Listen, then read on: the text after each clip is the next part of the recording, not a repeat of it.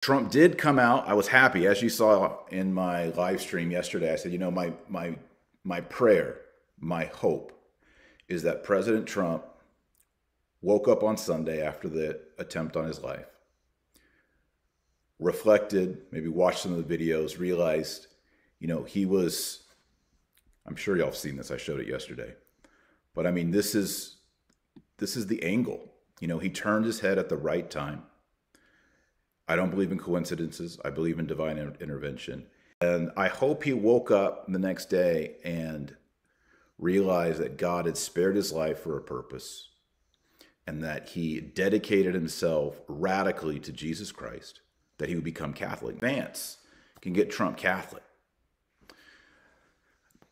And that he becomes a warrior for Jesus Christ, not just for MAGA but for something redemptive, something salvific. It's not, we don't just need votes.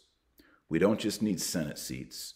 We need people to fall in love with Jesus Christ. And we need prayer in the name of Jesus, not generic ecumenical prayers.